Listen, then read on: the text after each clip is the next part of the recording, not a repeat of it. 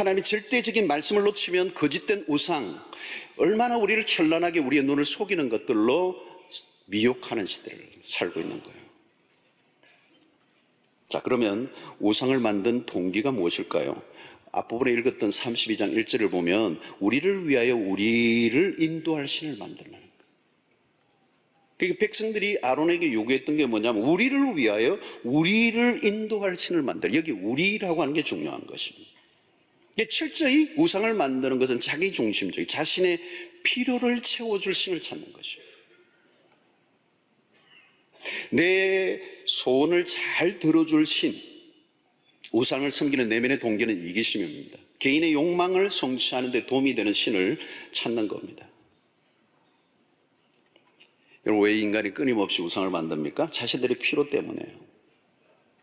내가 원하는 것을 해결해 줄 신은 항상 필요한 것입니다. 여러분, 나의 필요를 해결하기 위해서 하나님을 찾는 사람들은 언젠가는 하나님을 떠나게 되어 있습니다. 필요가 채워져도 하나님을 떠나요. 왜? 필요가 채워졌으니까 하나님 필요 없잖아요. 필요가 채워지지 않으면 내 필요를 채워주지 않을 신을 내가 찾을 이유가 없는 거예요. 그러니까 필요가 채워지든 채워지지 않든 필요를 자기의 니드를 갖고 온 사람은 그 문제 때문에 하나님을 떠날 가능성이 많아요. 왜? 그 필요가 자신의 삶의 중심이기 때문에 그렇습니다. 여러분 어떤 육체의 질병을 가지고 고침받기 위해서 교회를 찾아올 수 있어요. 그런데 그 육체적 문제를 가지고 주님 앞에 나와서 하나님을 만나고 그리스도를 만나고 구원을 얻어서 아, 내 육체적 질병보다 더 중요한 것은 영혼의 구원이구나. 이걸 깨달으면 복인 거죠. 근데 이 육체의 이 질병이 고쳐져야 된다는 거기에만 꽂혀 있고 그게 고쳐지지 않으면 나는 소용없다. 그 어디든 따라갈 수 있는 거죠. 내 육체 질병. 그 필요에 모든 걸 걸고 있는 것입니다. 하나님은 우리의 필요를 채워주실 수 있는 능력이 있는 분이십니다. 그러나 하나님은 우리의 필요를 채워주시기 위해 존재하는 분은 아니에요. 우리의 필요를 가지고 처음에는 나오지만 그 필요는 하나님을 만나기 위한 조건이지 목적이 될 수가 없는 것입니다. 오병이어 사건에 군중들이 예수님께 몰려들었어요. 오병이어 사건이 일어난 게 얼마나 대단합니까? 사람들이 백, 이 경제적 메시아로 예수 그리스도를 임금 삼으려고 막 몰려들어요. 이유는 뭘까요? 예수를 찾은 게 아니에요. 그들의 배를 채워줄 신을 찾는 거예요. 그 신은 무슨냐면 예수가 신이 아니고 내 배가 신인 거죠. 내 배를 만족시켜주는. 주님은 그 의도를 아시고 군중들을 피하신 거죠. 여러분, 나의 필요, 나의 욕망을 만족하기 위해서 하는 것이 목적이면 신을 계속 찾아야 합니다. 우리의 소원을 해결하기 위해 하나님을 찾으면 우상숭배에 걸려들게 되어 있습니다.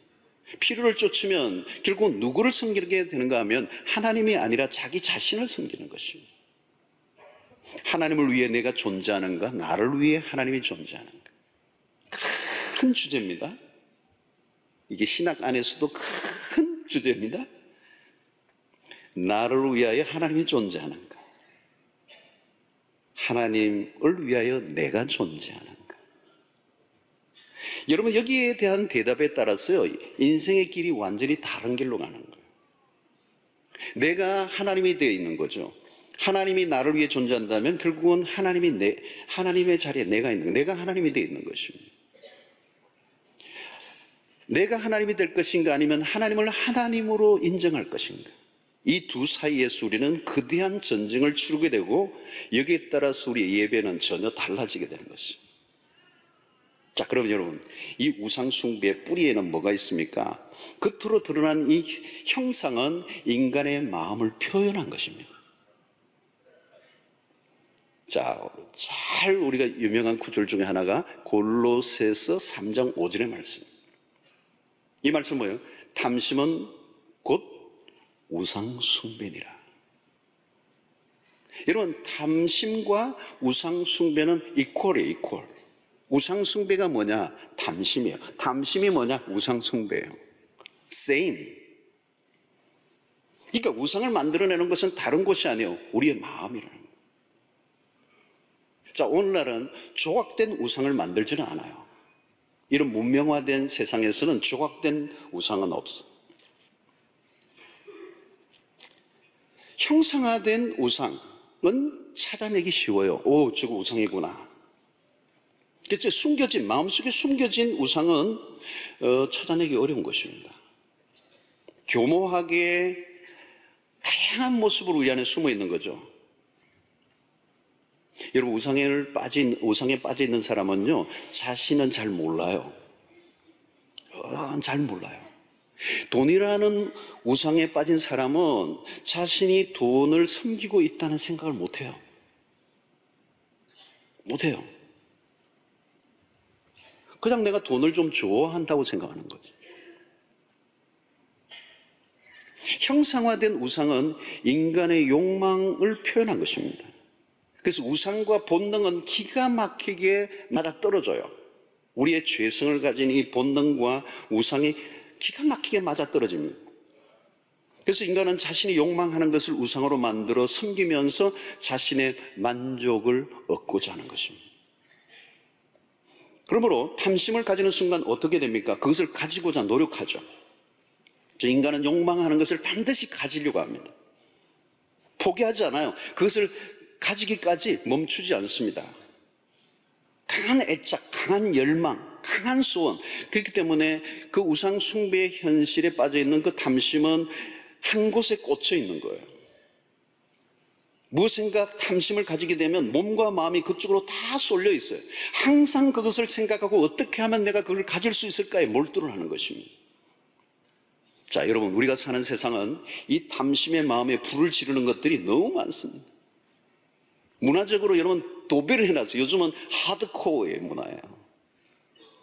굉장히 우리의 마음을 내적인 그 욕심을 충동질하도록 만드는 이 문화예요. 비주얼한 문화예요. 어디 눈돌 곳이 없는 세상이죠.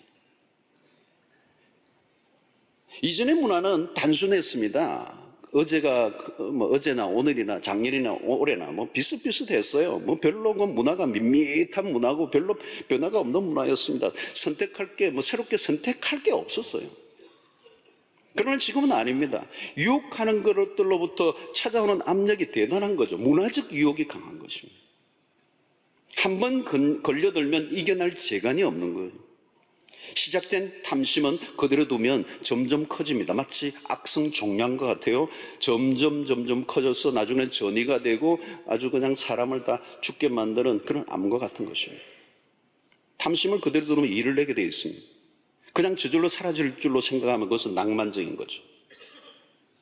문제는 탐심이라는 우상은 만족할 줄 모른다는 데 있는 것입니다. 만족하지만 어떻게 돼요? 갈 때까지 가는 거예요. 결국은 그 우상 숭배의 끝은 절망이고 왜? 그 우상은 우리를 만족시킬 수 없기 때문에. 자, 여러분, 지금 혹시 내가 어떤 것, 그거 외에는 다른 어떤 것도 눈에 들어오지 않는다. 그게 우상입니다. 바울은 이것에 관해서 이렇게 얘기해요. 로마서 1장 표현에 하면 마음의 정욕대로 드rum에 내어 버려두사. 탐심을 가진 순간 마음이 내 마음이 아닌 거예요.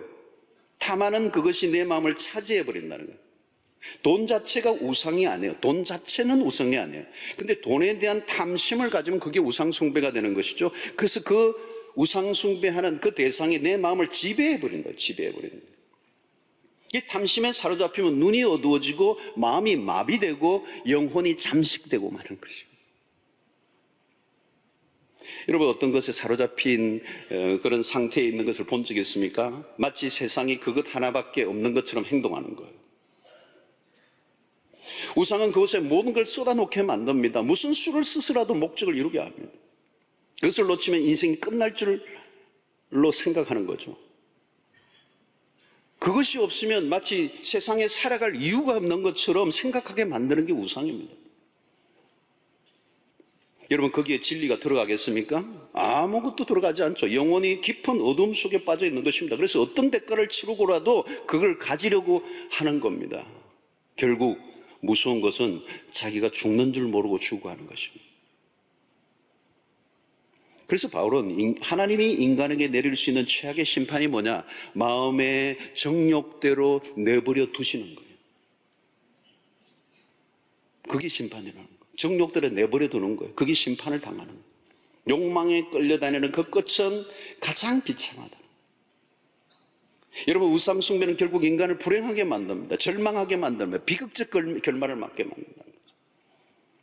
하나님이 아닌데 하나님으로 잘못 알고 섬긴 대가는 혹독하다는 거죠. 하나님만이 주실 수 있는 것을 다른 어떤 것을 통하여 얻으려고 한 것에 대한 후유증이 크다는 거예요. 하나님이 아닌데 거기에서 행복을 찾는 거예요. 그게 행복을 줄줄 알고 찾는 겁니다. 하나님만이 주실 수 있는 그 기쁨을 세상에서 얻으려고 하다가 그 우상이 나에게 기쁨을 주고 행복을 주지 못하는 거예요. 근데 갈 때까지 가는 거죠. 그게 우상이 사람을 속이는 거라. 자기가 스스로 속는 것입니다. 그래서 우리는 우상이 거짓된 것이라고 하는 것을 빨리 깨닫는 거. 그게 은혜인 거예요.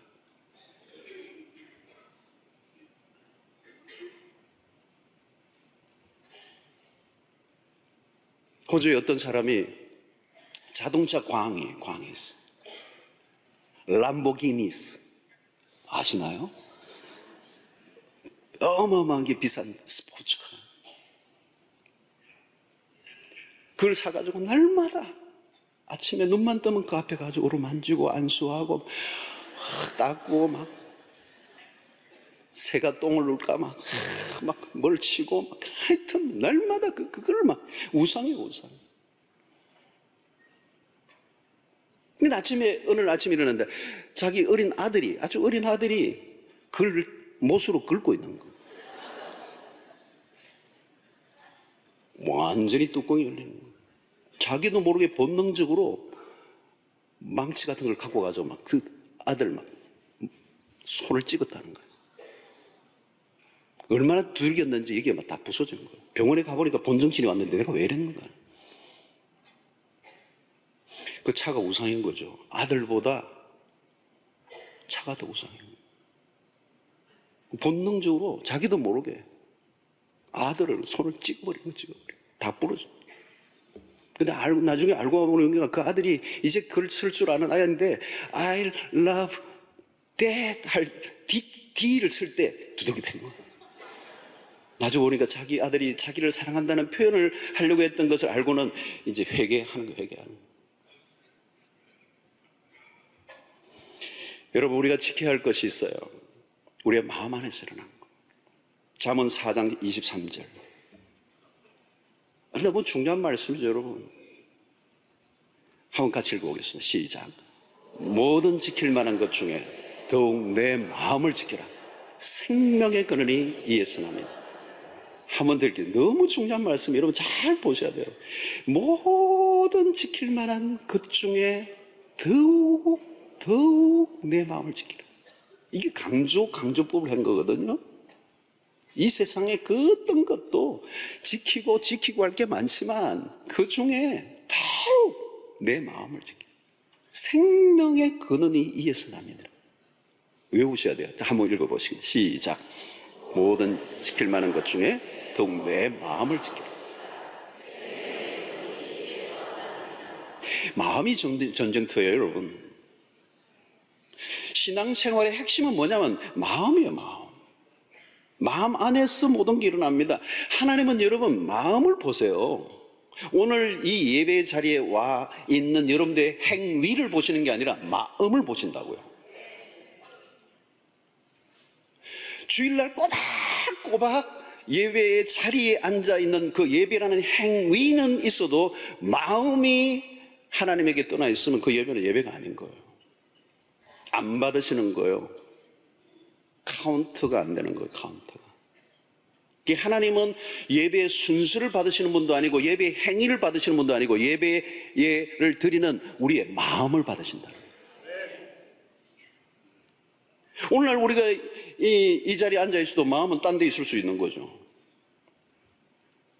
그리고 여러분 우리의 예배라고 하는 것은 이 하- 한정된 공간 안에서 드리는 예배만 예배가 아니고 우리 일상의 모든 삶이 예배여야 되죠. 그래서 그 일상 속에 우리의 마음이 하나님께 향했던 사람들이 오늘 주일이라고 하는 한 지정된 시간에 나와서 함께 예배로 나아가는 것이 예배인 거죠. 그런데 우리의 예배는 뭐예요? 우리의 마음을 드리는 것입니다. 그 너희 마음과 뜻과 정성을 다하여 주 너의 하나님을 사랑하라. 이것이 크고 첫째 되는 길. 이 마음을 얘기하는 것입니다. 이 백성이 나를 입술로는 존경하는데 마음은 내게서 멀도다 얘기하는 거잖아요. 그 예배는 하나님 받지 않는다는 거예요. 여러분 성경에 보면 하나님이 어떤 제사, 제물 자체가 아니라 그것을 드리는 사람들의 마음. 근데 나중에는 그 마음이 그 제물에 표현되는 거죠. 그래서 나중에는 말라기스에 보면 정상적이지 않는 제물을 드리는데 그 제물 자체의 문제가 아니라 그 제물을 드리는 그 사람들의 마음이 제물에서 표현이 되는 거죠. 잘못된 예배를 드리기 시작하는 거예요. 그러므로 여러분, 우리의 마음 안에 하나님이 아닌 것이, 아닌 것을 사랑하는 것이 숨어 있는 것을 뿜어내는 거예요. 그래서 우리 예배는 사실 위험한 예배예요. 왜냐하면 우리 안에 있는 우상을 여기에서 깨뜨리는 작업들이 일어나야 되기 때문에 그렇습니다. 예배의 자리에서 우리를 속이는 우상의 정체를 드러내야 하는 거죠.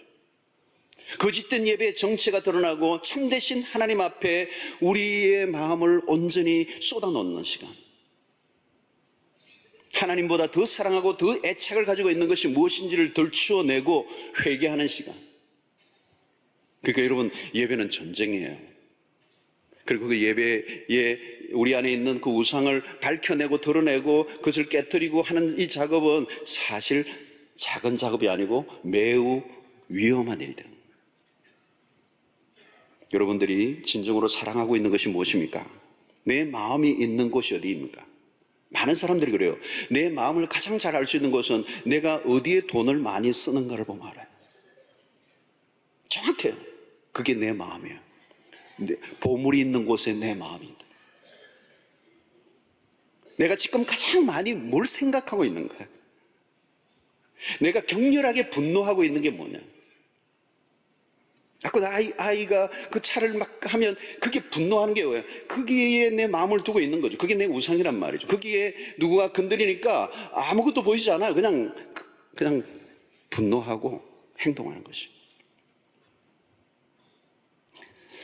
사랑하는 성도 여러분, 우리가 참으로 하나님을 섬기는 그 삶을 살려고 하면 우리는 거짓된 우상에서 빠져나와야 돼 요. 근데 이 구짓된 우상은 우리 안에 교모하게 우리의 마음속에 다양한 형태로 숨어 있는 것입니다. 저는 다음 주일날 그 얘기를 하려고 하는 것입니다. 바른 예배, 하나님은 받기를 원하십니다. 예배다운 예배를 받기를 원하시는 것입니다. 하나님이 받으시는 예배를 우리가 드려야 되는 것입니다. 인간의 모든 목마름은 참된 예배를 드릴 때 해결됩니다. 여러분, 우리가 행복을, 기쁨을 찾는다고 행복과 기쁨이 오는 게 아니죠.